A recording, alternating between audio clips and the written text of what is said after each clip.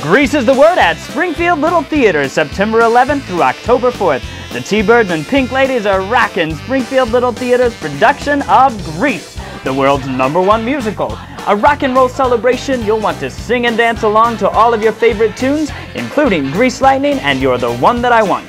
For tickets, 869-1334 or springfieldlittletheatre.org.